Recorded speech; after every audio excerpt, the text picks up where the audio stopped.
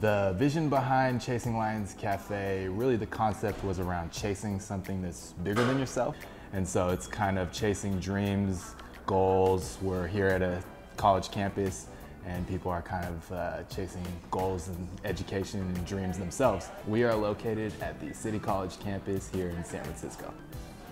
The first time I came to Chasing Lions Cafe was about last week and the staff seemed really friendly and food's good. Kind of funky, soulful, seems really environmentally friendly. Just how everything is packaged and, and how everything is made. At Chasing Lions Cafe, we really pride ourselves on fresh, local, organic products.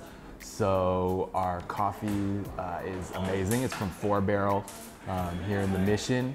They are our coffee roaster and they have a direct relationship with the farmers and it's organic coffee. They're paying the farmers a very uh, above a fair trade rate, which is something important to us. Chasing Lions Cafe is unique because we are trying to bring warmth to foggy, cold San Francisco. And we look at warmth in a lot of ways. One, literally, we're a coffee shop, so hot drinks that we're specializing in.